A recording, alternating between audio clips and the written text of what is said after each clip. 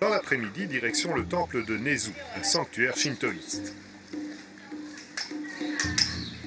Le roi et la reine y sont invités à pratiquer le rituel de la purification du corps et de l'esprit. Il s'agit ici de se laver les mains et la bouche avant d'entrer sur ce site sacré. Les mains et la bouche parce qu'on les utilise pour prier.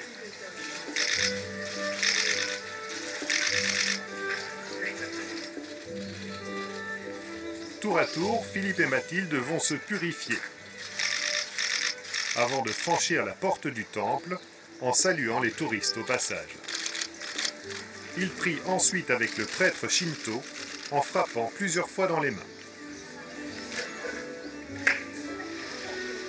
Après être passés sous un tunnel de Tori, ces portiques japonais qui donnent sur le monde spirituel, le roi et la reine prennent la pause, là où bon nombre de mariés japonais viennent se faire prendre en photo.